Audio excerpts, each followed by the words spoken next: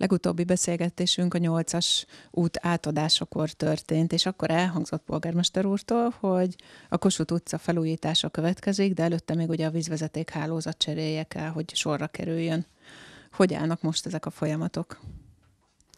A vízvezeték csere elindult, jelen pillanatban itt tartanak az önkormányzat épülete előtt.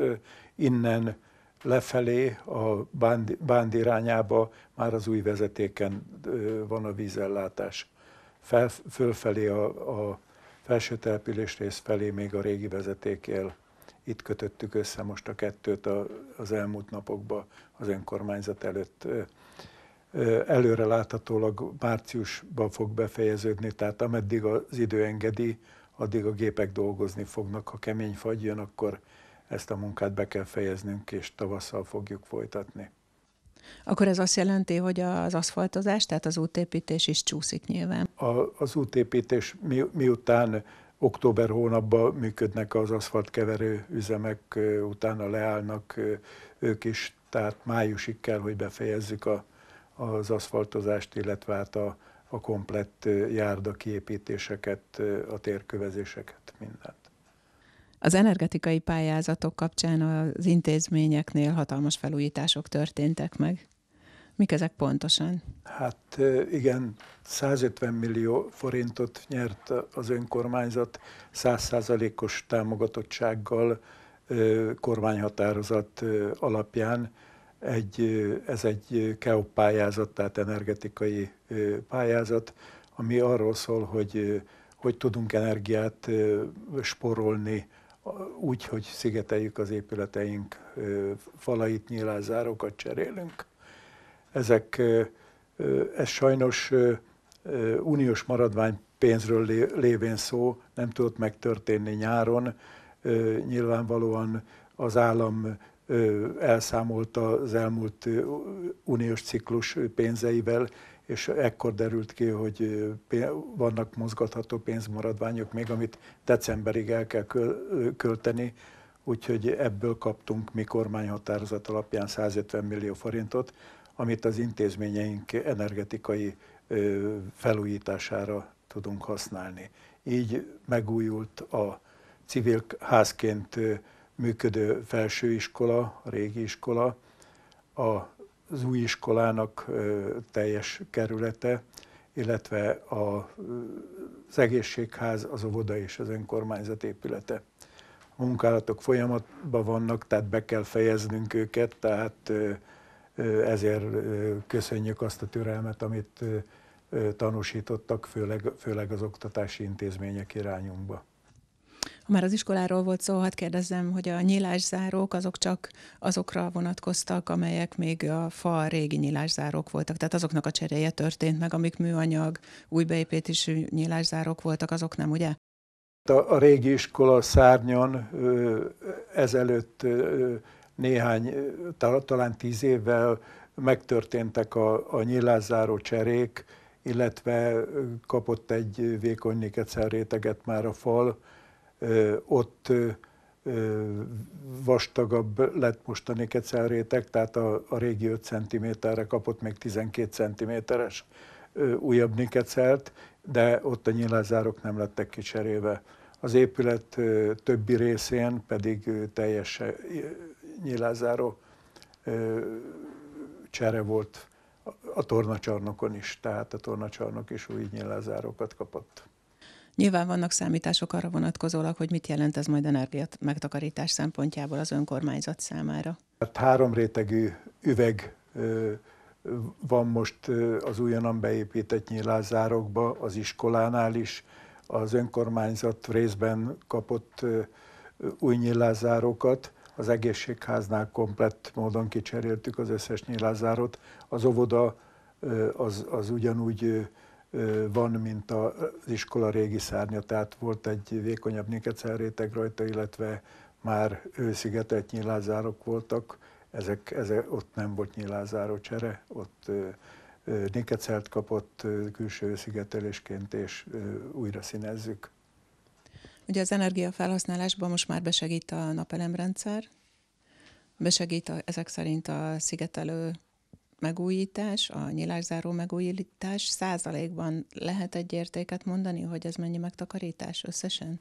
Hát ö, ö, több tíz százalék, nem tudom pontosan megmondani. Egy ö, szabványnak kell, hogy megfeleljen, ami, ami olyan 1,2 körül van a technikai szabványként az eddigi kettőt közelítő mérték helyett. Hát ha már az épületek ilyen szépen megújulnak, akkor a környezetünk is úgy gondolom, hogy változásokon megy keresztül, még ezen kívül is. Arra gondolok, hogy itt a park előtt például kialakította az önkormányzat egy parkoló részt. Igen, azért csináltuk ezt meg, hogy, hogy a Kossuth utca felújítása kész tényként kapja ezt a parkolót. Itt Ferde volt a Hősök Parkját elválasztó kis tértfal, ezt fordítottuk olyan irányba, hogy parkolókat tudjunk kialakítani, és mivel ez a Kossuth utca része lett, így, így meg, meg fog újulni majd a, a parkoló felülete is ilyen, ilyen módon a Kossuth út felújítása során. Várható-e még a településen bárhol ilyen kellemes kis beavatkozás? Hát szeretnénk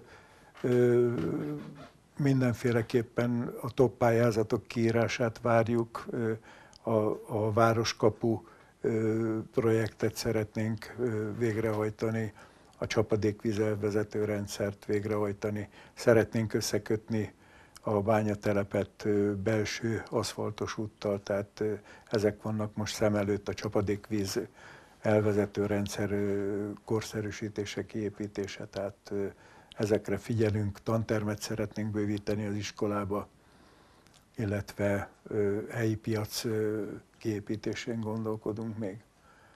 Igen, sokféle szempont szerint folynak ezek szerint a dolgok.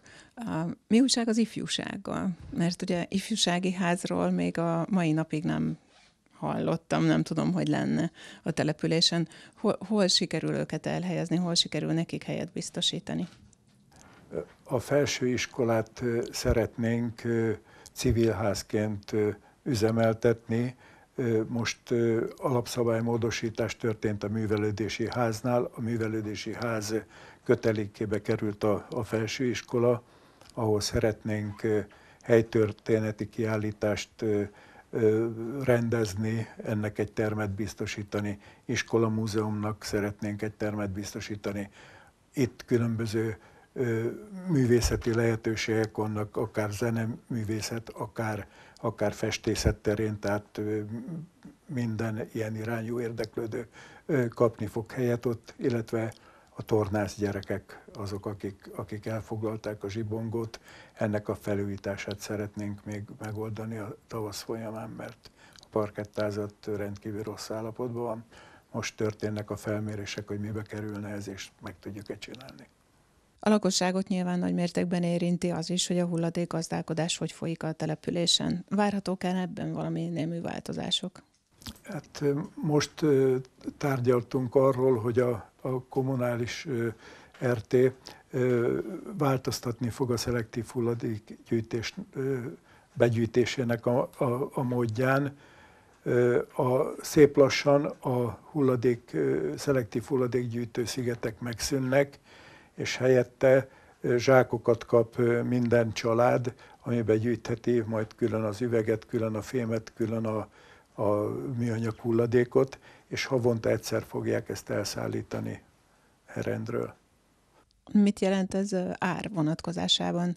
Kerül ez többe, mint az eddigi szolgáltatás? Nyilvánvalóan többe kerül, de egyelőre nem akarják erőszakosan érvényesíteni ezt a többletköltséget, hanem bár célozgattak az önkormányzat felé, hogy ki, kiírták, hogy melyik önkormányzatnak mennyi pluszot kellene fizetni, és jó lenne, ha fizetné az önkormányzat, de ez nem kötelező még. Mikor történik meg ennek a bevezetése körülbelül? Január, januártól már megtörténik a bevezetése ennek. Vele párhuzamosan természetesen kint lesznek még a szelektív gyűjtőszigetek, és, és azt várják, hogy, hogy a zsákos megoldást veszi kötelezővé a lakosság, és akkor ezek szép lassan megszűnnek. Ennek az oka az, hogy különböző egyéb kommunális hulladékok is megjelennek sűrűn ezekbe a szelektív gyűjtő szigetekbe, és, és ezt szeretnék ezzel a módszerrel megszüntetni. Elég vészesen közeledünk már az év végéhez. Ilyenkor már mindig hagyományosan várjuk a közmeghallgatást. Milyen témákban várná ön a lakosság véleményét főként? Nyilvánvalóan több irányú lesz itt, itt a lakosság véleménye. Hát állunk a lakosság rendelkezésre, és megválaszolunk minden kérdést, amit, amit feltesznek. Tehát a, a szokásos évzárás lesz ezzel kapcsolatosan, tehát most már egy komplett évet tudott végigcsinálni az új képviselőtestület, és hát be fogunk számolni arról, hogy milyen intézkedéseket tettünk az elmúlt évben, mit sikerült elintézni, mit nem. Köszönjük, és kívánunk a jövő évhez hasonló sok sikert.